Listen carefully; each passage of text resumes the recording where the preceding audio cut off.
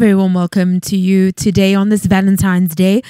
Uh, you are tuned into the social show with myself, Uwe Cholwana, and I'm with you for the next 30 minutes talking to you about all things CSI, CSR, as well as CSV. Of course, it's the day of love, so I'm spreading love and light to all of you um, everywhere that you are. I hope you are receiving and giving uh, goodness and good memories and love and, and honesty and and just just good vibrations.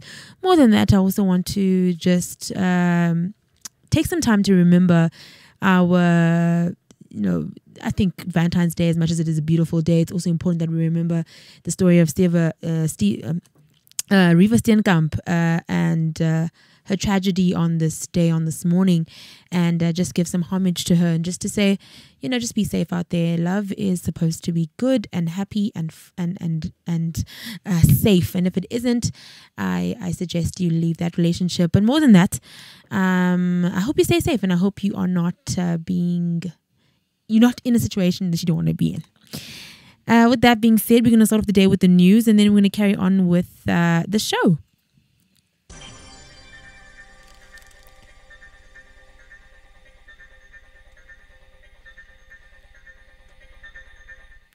WESSA has launched a new environmental education program for schools called LEAF, Learning About Forests. The international program encourages learners and communities to take ownership of creating healthy surroundings by engaging with their local forests and planting indigenous trees. Learners on the program also plant food and fruit forests uh, as outdoor classrooms to support existing structures in schools and communities.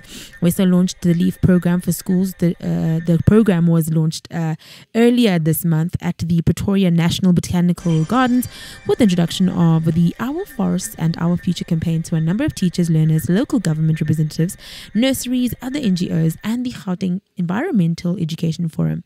The campaign is a joint initiative of the WESSA Leaf Program and Johannesburg based NGO School Forest Project, who will supply 100 trees to 10 schools from Eersterus, Mamelodi, Tshwane East participating in the LEAF program for 2018.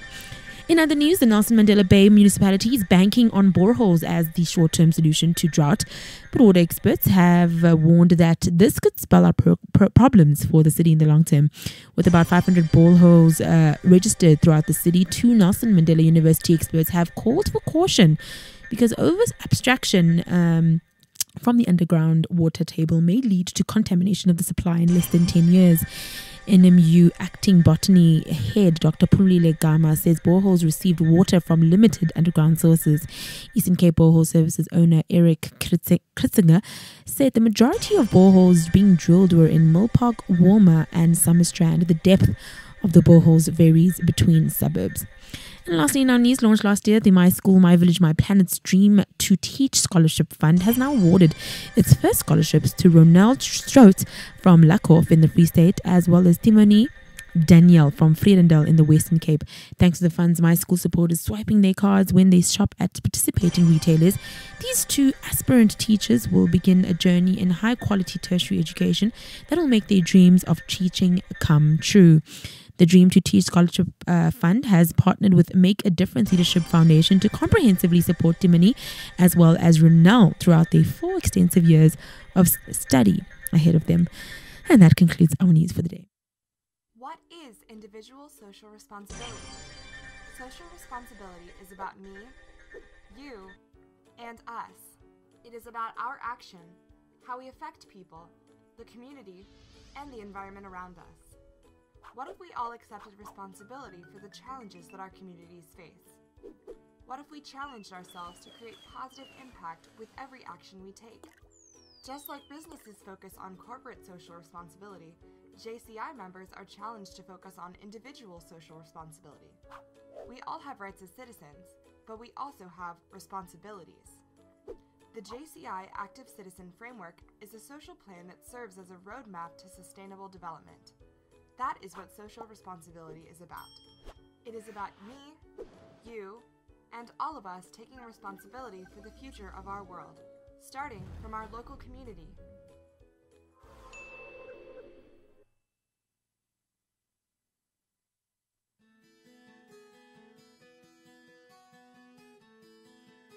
So we have this philosophy, we call it our planet promise, that if we were to leave this planet, if we no longer existed, or more specifically if we were no longer operating in a specific town or country, we wanted to make sure that the people around us, the stakeholders of the company, would say, wow, we really miss this company. That's why climate and environment is becoming more important because maybe the citizens would say it was a great place to work for, we made some money, they paid their taxes, but still you'd look at the aftermath of such a company and say, wow, they produced a lot of waste or a very negative environmental impact. So now we're really very focused on, on that piece. The investment in wind turbines will actually produce as much energy as we expect to consume of energy when we forecast into the year uh, 2020. So we'll have a one-to-one between the energy we consume and the energy, uh, renewable energy being produced. That's the major benefit of this investment. We're very focused on waste in the manufacturing process. We have an ambition to be able to recycle all the waste we produce. We're currently at 90%. Uh, Lego bricks are made of plastic, and plastic is a material there's a lot of focus on, both from a safety angle in terms of what chemicals are inside plastics, but also in terms of recycling or how are they disposed of at end of life. And we are looking into recycling uh, solutions. The feedback we're getting from a lot of consumers is though that they never throw away their Lego bricks, they keep them for future generations. And I do think this durability of the Lego product is a major strength, but still we need to think about good environmental solutions from end to end of the life of the brick.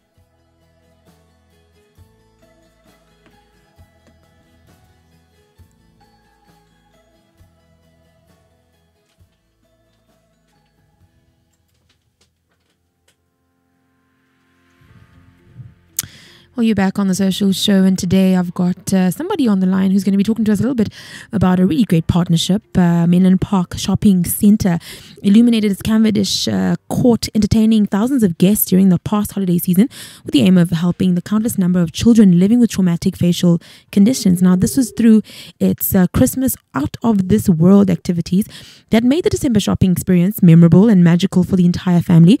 Menlyn Park Shopping Centre was able to raise funds for the Smile um, Foundation, and these funds were raised when customers bought.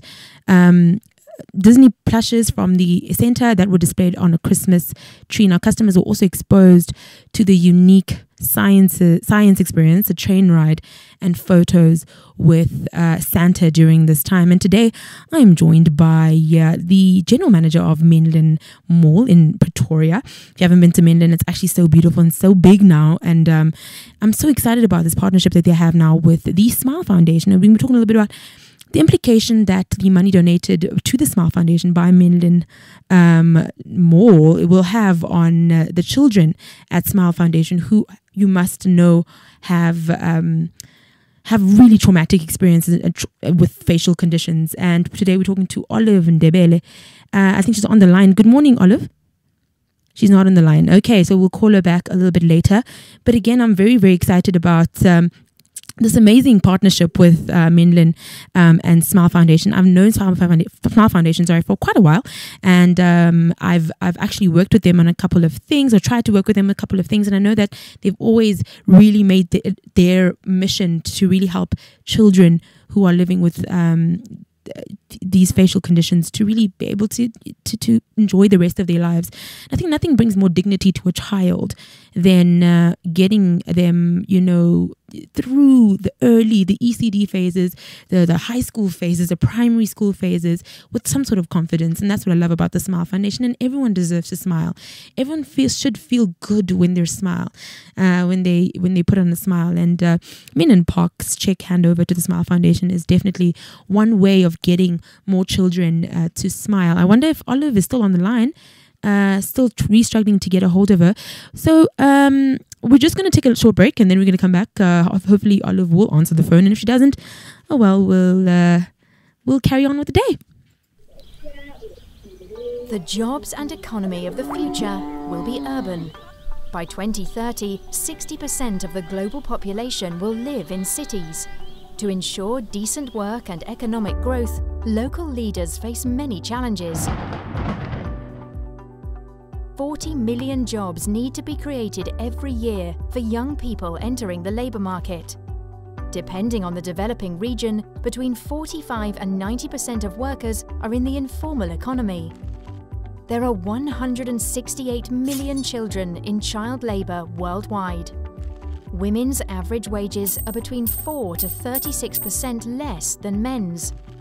Many local governments are already taking action, fostering community participation and social dialogue between employers and workers, including in the informal economy, adapting and responding to economic trends and challenges, promoting entrepreneurship, job-oriented policies, innovation and labour protection, and learning from one another through city-to-city cooperation. Local and regional governments do all this to ensure inclusive and sustainable economic growth, employment and decent work for all, which is Goal 8 of the 2030 Sustainable Development Agenda. Achieving SDG 8 depends on local governments. So as I said, we are trying to get a hold of Olive, uh, who is the head or the general manager of Menlyn Mall, um, just to talk to us a little bit about their collaboration with Smile Foundation. In fact, they gave them a large sum of money um, quite recently um, to help them with their work. A little bit about the Smile Foundation. Now, Smile Foundation is a South African non-governmental organization with a comprehensive health care vision for children living with facial condition uh, conditions. And Smile Foundations, together with the country's academic hospitals, work together to put uh, the smile back onto children's faces with corrective facial or constructive treatments. Um, they help children in need of surgery for treatable facial anomalies such as cleft lip, um, cleft palate, nose, and ear conditions, facial paralysis, uh, which is called Mobius syndrome, burn wounds, and craniofacial abnormalities. And even though they're a charity for children, they understand that parents want nothing more than to help their children in need and cannot do so because of financial restrictions.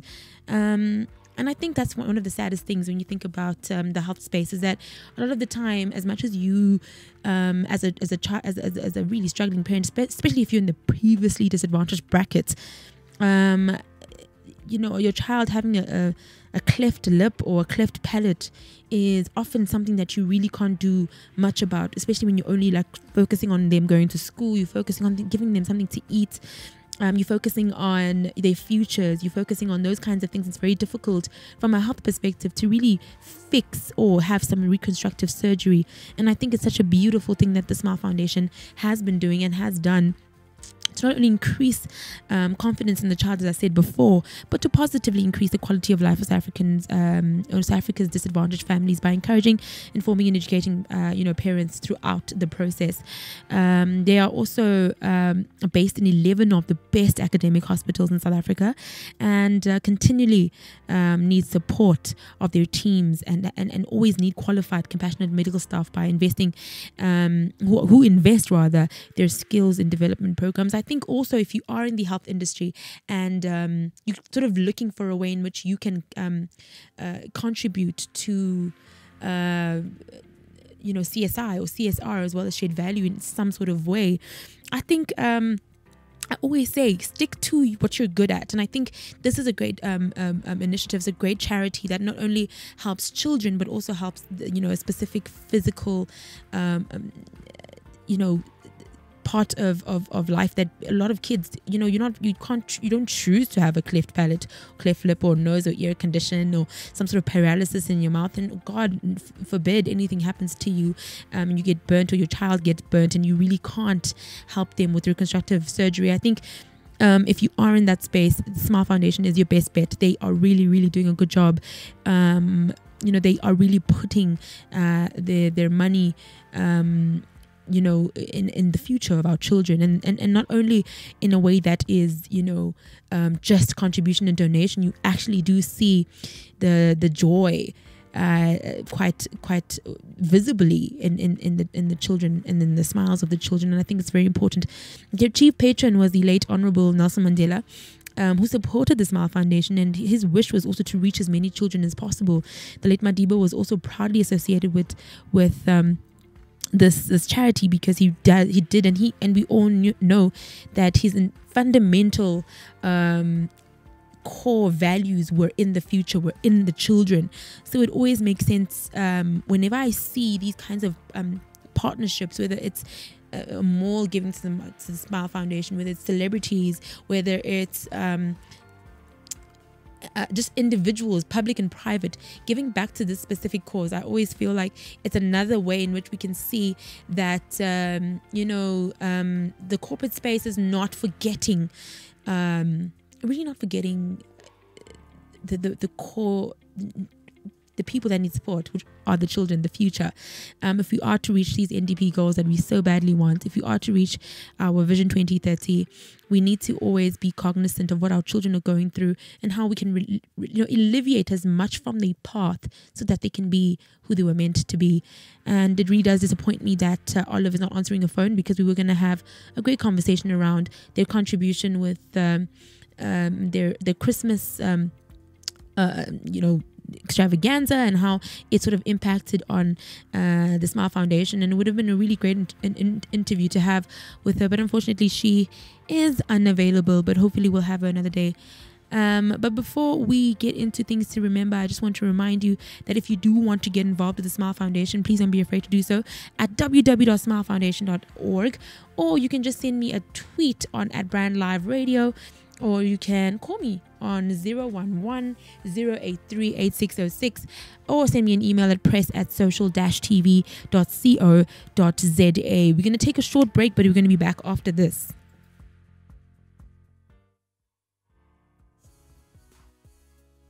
In order to do more uh, for your people, your community, or to have the social impact that we're trying to have, I think one thing is clear performance is the price of admission. If Starbucks did not perform and we didn't create value for our shareholders, we couldn't do these things. Just striving to make a profit and building value for one constituent, I just don't think it's sustainable. And I'm not here to preach to another company or another business person. I'm just here to say this is what we do, this is what we believe in, this is what we think is right. And if you can take anything from our playbook, we're, we're open. Here it is. We, we have no secret sauce, we have no technology. We're built on a foundation of humanity. When Secretary Gates came on the Starbucks board, I think he gave me a great uh, tutorial on the fact that two and a half million young men and women, extraordinary young men and women, were wearing the cloth of the nation, and less than 1% of the American public had any skin in the game. And I went to bases, I went to Walter Reed, I went to the Intrepid, and I saw firsthand we've got a real problem. I said, let's do two things. Let's do everything we can as a company to hire veterans and their spouses and then I give great credit to my wife Sherry to say, uh, as part of our family foundation, let's make a very significant contribution to the veterans coming home from Iraq and Afghanistan. Let's help them in transitional services. In addition to the issues around race relations in America, there's a significant underlying problem of 5.6 million youth in America, mostly black and Latino, who are not in school, not working, and you can say are hopeless. And we said, wait a minute, could we convene a number of companies and start having job fairs on a regional basis and really make a difference? As, and as sappy as it may sound to others, we're a performance-driven company through the lens of humanity. That's who we are.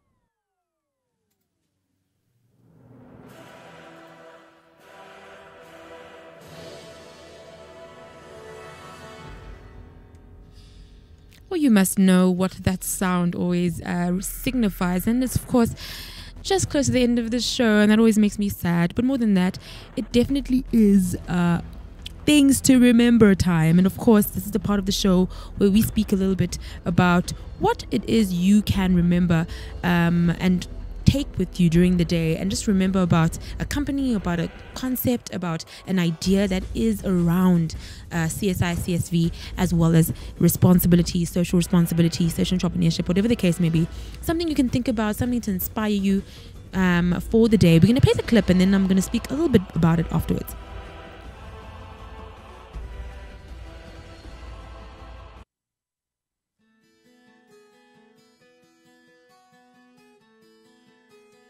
We have this philosophy, we call it our planet promise, that if we were to leave this planet, if we no longer existed, or more specifically, if we were no longer operating in a specific town or country, we wanted to make sure that the people around us, the stakeholders of the company, would say, wow, we really miss this company. That's why climate and environment is becoming more important because maybe the citizens would say it was a great place to work for, we made some money, they paid their taxes, but still you'd look at the aftermath of such a company and say, wow, they produced a lot of waste or a very negative environmental impact.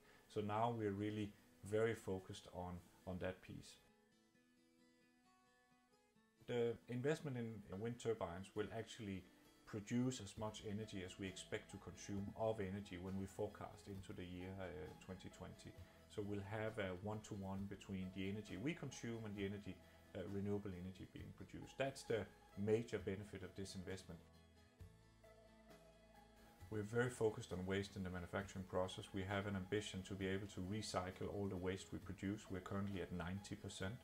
Uh, Lego bricks are made of plastic and plastic is a material there's a lot of focus on both from a safety angle in terms of what chemicals are inside plastics but also in terms of recycling or how are they disposed of at end of life. And we are looking into recycling uh, solutions. The feedback we're getting from a lot of consumers is though that they never throw away their Lego bricks, they keep them for future generations.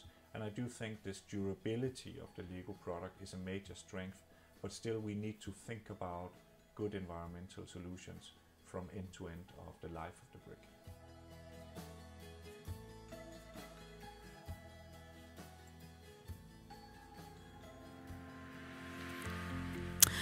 And that was the CEO of Lego speaking a little bit about the Planet Promise project, which I think is so important. And what it really aims to do is put children first. As a provider of play experiences, they have said that they want to ensure that their behavior and their actions are responsible towards all children, but more than that, towards the world. And I love what he said a little bit about. Um, um, you know how Lego has always sort of transformed um, from generation to generation, from just being this plastic game that you can play to being something that is a little bit more essential, um, essential uh, provider of play experiences that makes sure that it's uh, responsible to stakeholders, society, and the environment and um, the fact that lego now can be used for generations after it's not just something that you can melt or throw away or anything like that. It is um, aimed to inspire children. It's aimed to be environmentally um, uh, have an environmental impact on on, on society. Um, they're addressing climate change by reducing their emissions through improving their energy efficiency and how they make legos nowadays in, in, in the new age. And um, there's so much people people can do to join the lego planet crew and help build a greener planet. And I thought it would be important for us to think about the toys that you give your children. What what are you buying and how does it work for you? Does it work for you from a recycling perspective? Can it work for you from a uh, from an environmental perspective?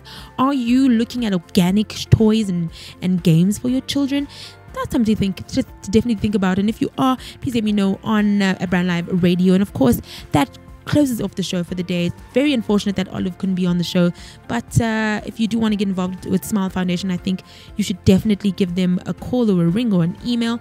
And uh, I hope you learned something today. I hope you have a beautiful Valentine's Day, and I'll be back again, same time, same place, only on the social show.